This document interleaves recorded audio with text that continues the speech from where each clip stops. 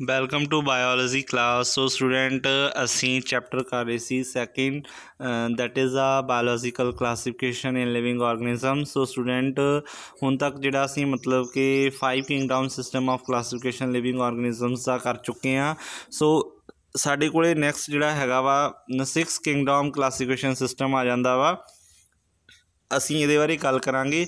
ਸੋ student 6 kingdom classification ਦੇ system ਦੇ ਵਿੱਚ ਕੀ ਆ, ਅਸੀਂ ਦੇਖਦੇ ਹਾਂ ਕਿ ਸਭ ਤੋਂ ਪਹਿਲਾਂ ਜਿਹੜਾ ਇਹ ਮਤਲਬ ਕਿ ਇੰਟਰੋਡਿਊਸ ਕੀਤਾ ਸੀਗਾ why Carls was a professor in the department of microbiology, university of Illinois.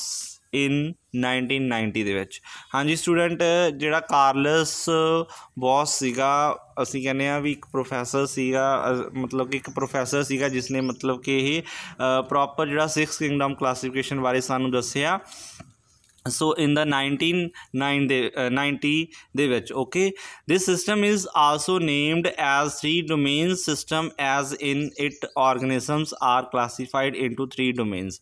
ਹਾਂਜੀ ਸਟੂਡੈਂਟ ਇਹਦੇ ਵਿੱਚ ਮਤਲਬ ਕਿ ਜਿਹੜਾ ਸੀਗਾ ਕਾਰਲ ਨੇ ਕੀ ਕਿਹਾ ਸੀਗਾ ਕਾਰਲ ਨੇ ਕਿਹਾ ਸੀਗਾ ਕਿ ਜਿਹੜੇ ਹੈਗੇ ਨੇ ਲਿਵਿੰਗ ਆਰਗੇਨਿਜ਼ਮਸ ਦੇ 3 ਡੋਮੇਨਸ ਬਣਦੇ ਨੇ ਜਿਨ੍ਹਾਂ ਨੂੰ ਅਸੀਂ ਮਤਲਬ ਕਿ ਕੈਟਾਗਰਾਈਜ਼ ਕੀਤਾ ਹੋਇਆ ਵਾ ਦੈਨ ਉਹਨਾਂ ਦੀ ਕਲਾਸੀਫਿਕੇਸ਼ਨ ਕੀਤੀ ਹੋਈ ਆ ਇਨ 3 ਡੋਮੇਨਸ ਦੇ ਵਿੱਚ ਓਕੇ ਉਹਨਾਂ ਨੇ 6 ਕਿੰਗਡਮ ਕਲਾਸਿਸ ਸਿਸਟਮ ਦੇ ਵਿੱਚ ਕੀ ਕੀਤਾ ਸੀਗਾ? 3 ਡੋਮੇਨਸ ਬਣਾ ਲਏ ਸੀਗੇ ਤੇ ਸਾਰੇ ਹੀ ਲਿਵਿੰਗ ਆਰਗੇਨਿਜ਼ਮਸ ਨੂੰ ਜਿਹੜਾ ਸੀਗਾ, ਇਹਨਾਂ 3 ਡੋਮੇਨਸ ਦੇ ਵਿੱਚ ਡਿਵਾਈਡ ਕਰਤਾ ਸੀਗਾ।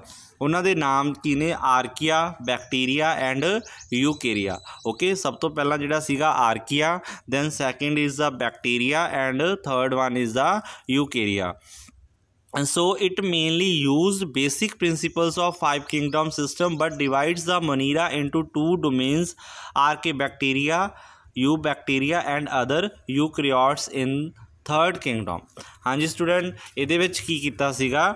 ਜਿਹੜੇ ਮਤਲਬ ਕਿ ਉਹਨਾਂ ਨੇ ਜਿਹੜਾ 6 ਕਿੰਗਡਮ ਕਲਾਸੀਫਿਕੇਸ਼ਨ ਸਿਸਟਮ ਹੈ, ਇਹ ਪੂਰਾ ਦਾ ਪੂਰਾ ਜਿਹੜਾ ਹੈਗਾ, ਅਸੀਂ ਪਿੱਛੇ 5 ਕਿੰਗਡਮ ਕਲਾਸੀਫਿਕੇਸ਼ਨ ਦੇ ਕਰੈਕਟਰਸ ਪੜ੍ਹ ਕੇ ਆਏ ਆ ਪੂਰਾ ਉਹਦੇ ਉੱਪਰ ਹੀ ਬੇਸਡ ਹੈ।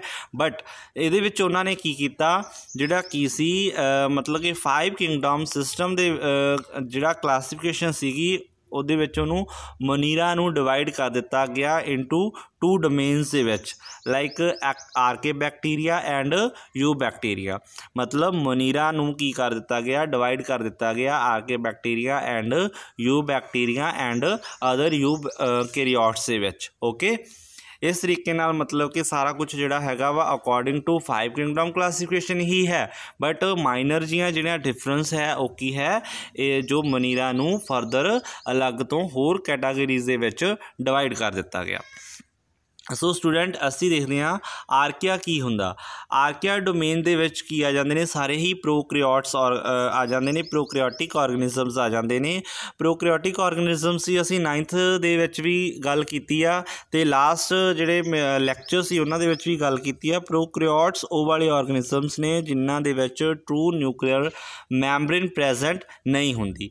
ਐਟ ਮੀਨਸ ਉਹ ਕੀ ਹੁੰਦੇ ਨੇ? ਨੇਕਡ ਨਿਊਕਲੀਅਸ ਵਾਲੇ ਆਰਗੇਨਿਜ਼ਮਸ ਨੇ। ਸੋ ਸਟੂਡੈਂਟਸ, ਸਾਰੇ ਪ੍ਰੋਕੈਰੀਓਟਸ ਨੇ ਜਿਹੜੇ ਆਰਕੀਆ ਦੇ ਵਿੱਚ ਆ ਜਾਂਦੇ ਨੇ these are characterised by a monolayer core of lipids in the cell membrane and distinct nucleotides in their 16 sRNA ਹਾਂਜੀ ਸਟੂਡੈਂਟ ਉਹਨਾਂ ਦੇ ਜਿਹੜੇ ਅਸੀਂ ਮਤਲਬ ਕੈਰੈਕਟਰਸ ਦੀ ਗੱਲ ਕਰੀਏ ਤਾਂ ਕੈਰੈਕਟਰਸ ਦੇ ਵਿੱਚ ਜਿਹੜੀ ਉਹਨਾਂ ਦੀ ਸੈਲ ਮੈਂਬਰੇਨ ਹੈ ਸੈੱਲ ਦੇ ਆਲੇ ਦਾਲੇ ਜੋ ਵੀ ਮੈਂਬਰੇਨ ਹੈ ਉਹਨਾਂ ਦੇ ਕੋਲੇ ਕਹਿੰਦਾ ਕੀ ਹੁੰਦਾ ਸਿੰਗਲ ਲੇਅਰ ਪ੍ਰੈਜ਼ੈਂਟ ਹੁੰਦੀ ਆ ਕਿਦੀ ਲਿਪਿਡਸ ਦੀ ਓਕੇ ਤੇ ਦੈਨ ਉਹਦਾ ਉਹਦੇ ਵਿੱਚ ਜਿਹੜੇ ਨਿਊਕਲੀਓਟਾਈਡਸ ਪ੍ਰੈਜ਼ੈਂਟ ਹੁੰਦੇ ਨੇ ਮੀਨਸ ਜਿਹੜਾ ਉਹਦਾ ਜੈਨੇਟਿਕ ਮਟੀਰੀਅਲ ਹੈ ਪ੍ਰੋਕੈਰੀਓਟਸ ਦਾ ਉਹ ਕੀ ਹੈ? ਆਰਐਨਏ ਹੈ ਜੋ ਕਿ 16s ਵਾਲਾ ਆਰਐਨਏ ਹੋਏਗਾ।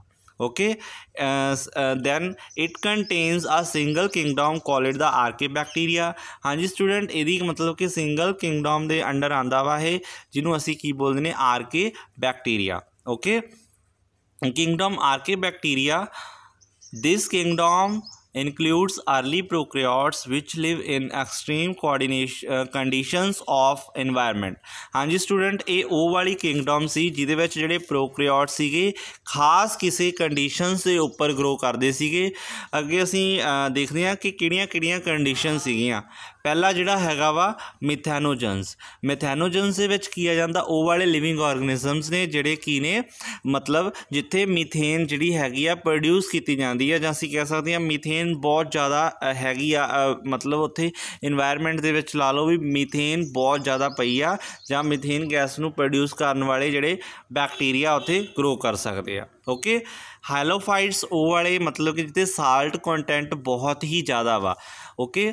ਮਤਲਬ ਅਸੀਂ ਕਹਿੰਦੇ ਸਾਲਟ ਵਾਟਰ ਲਾ ਲਓ ਸਾਲਟੀ ਵਾਟਰ ਲਾ ਲਓ। ਦੈਨ ਜਿਹੜੇ ਆਰਕੀਆ ਪ੍ਰੈਜ਼ੈਂਟ ਹੋਣਗੇ, ਉਹ ਵਾਲੀ ਕੰਡੀਸ਼ਨ ਤੇ ਜਿੱਥੇ ਸਾਲਟ ਕੰਟੈਂਟ ਬਹੁਤ ਜ਼ਿਆਦਾ ਵਾ, ਅਸੀਂ ਉਹਨਾਂ ਨੂੰ ਕੀ ਬੋਲਦੇ ਆ ਹਾਲੋਫਾਈਲਸ ਬੋਲਦੇ ਆ okay? Third one is the thermoacidophiles thermoacidophiles ਦੋ ਟਰਮਸ ਆ ਜਾਂਦੀਆਂ ਨੇ ਥਰਮੋਫਾਈਲਸ ਤੇ ਐਸਿਡੋਫਾਈਲਸ ਮੀਨਸ ਥਰਮੋ ਮੀਨਸ ਉਹ ਵਾਲੇ ਜਿਹੜੇ ਹੈਗੇ ਨੇ, ਜਿੱਥੇ ਮਤਲਬ ਕਿ ਟੈਂਪਰੇਚਰ ਬਹੁਤ ਹੀ ਜ਼ਿਆਦਾ ਵਾ। ਓਕੇ? ਤੇ ਐਸਿਡੋਫਾਈਲਸ ਮੀਨਸ ਐਸਿਡਿਕ ਕੰਟੈਂਟ ਹੈ। ਮੀਨਸ ਉੱਥੇ ਜਿਹੜੀਆਂ ਲਿਵਿੰਗ ਆਰਗੇਨਿਜ਼ਮਸ ਦਾ এনवायरमेंट ਹੈ, ਉਹ ਕੀ ਹੈ? ਐਸਿਡਿਕ ਹੈ। ਤਾਂ ਅਸੀਂ ਕੀ ਕਹਿ ਸਕਦੇ ਹਾਂ ਕਿ thermoacidophiles means acidic plus temperature ਜਿਹੜਾ ਹੈਗਾ ਵਾ, ਦੋਨੇ ਹੀ ਬਹੁਤ ਜ਼ਿਆਦਾ ਕੁਆਂਟੀਟੀ ਦੇ ਵਿੱਚ ਆ। ਐਟ ਮੀਨਸ ਜਿਹੜੀਆਂ ਕੀ ਨੇ, ਸਾਰੀਆਂ ਕੰਡੀਸ਼ਨਸ ਨੂੰ ਫੋਲੋ ਕਰਦੇ ਨੇ। ਐਕਸਟ੍ਰੀਮ ਕੰਡੀਸ਼ਨਸ ਬੋਲਿਆ ਜਾਂਦਾ ਵਾ। ਤਾਂ ਜਿਹੜੇ ਲਿਵਿੰਗ ਆਰਗੇਨਿਜ਼ਮਸ ਨੇ, ਇਹਨਾਂ ਕੰਡੀਸ਼ਨਸ ਦੇ ਉੱਪਰ ਰਹਿੰਦੇ ਨੇ। ਮੇਨਲੀ ਉਹ ਕੀ ਹੁੰਦੇ ਨੇ, ਆਰਕੇ ਬੈਕਟੀਰੀਆ ਓਕੇ ਦੈਨ ਅਸੀਂ ਬੈਕਟੀਰੀਆ ਦੀ ਗੱਲ ਕਰੀਏ ਕੱਲੇ ਬੈਕਟੀਰੀਆ ਦੀ ਗੱਲ ਕਰਦੇ ਹਾਂ।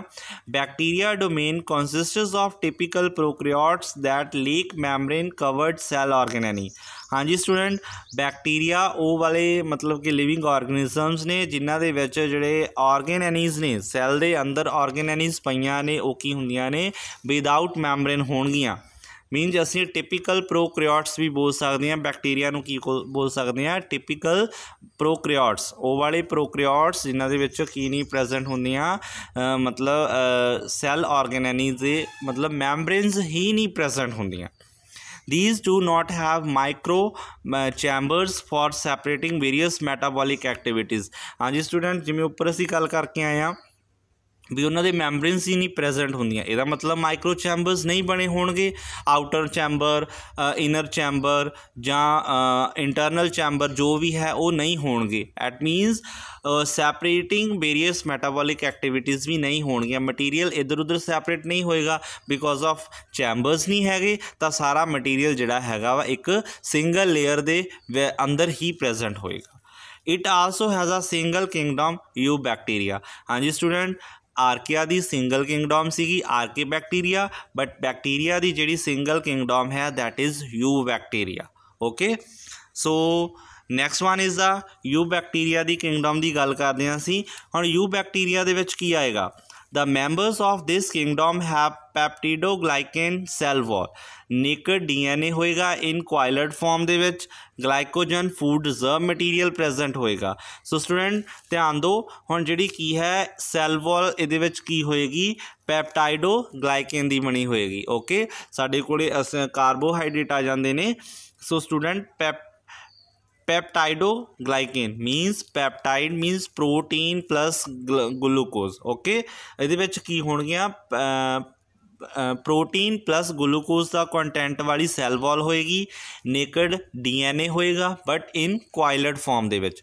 ਕੁਆਇਲ ਹੋਇਆ ਹੋਏਗਾ ਮੀਨਸ ਸਪਰਿੰਗ ਲਾਈਕ ਸਟਰਕਚਰ ਹੋਏਗੀ ਡੀਐਨਏ ਦੀ।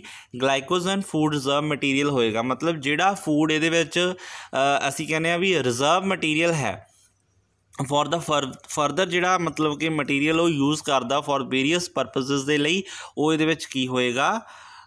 ਗਲਾਈਕੋਜਨ ਦੀ ਫਾਰਮ ਦੇ ਵਿੱਚ ਹੋਏਗਾ। ਦਾ shape sorry sap vacuole is not present ਇਹਦੇ ਵਿੱਚ ਕੋਈ ਵੀ ਵੈਕਿਊਲ ਪ੍ਰੈਜ਼ੈਂਟ ਨਹੀਂ ਹੋਏਗਾ because of these are the eubacteria okay 70s ribosome present ਹੋਣਗੇ। The members of kingdom are bacteria mycoplasma mycoplasma rickettsia and spirochaetes and cyanobacteria and firmicutes okay so student ਇਹ ਵਾਲੇ living organism ਜਿਹੜੇ ਹੈਗੇ ਨੇ ਇਸ Kingdom ਦੇ ਅੰਦਰ ਆਉਂਦੇ ਨੇ ਓਕੇ ਸਟੂਡੈਂਟਸ